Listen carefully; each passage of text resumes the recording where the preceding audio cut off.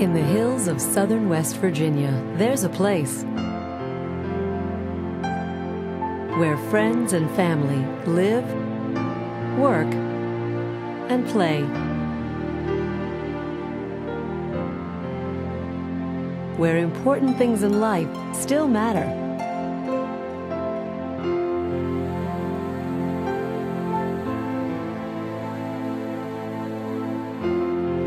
A place where childhood dreams come true.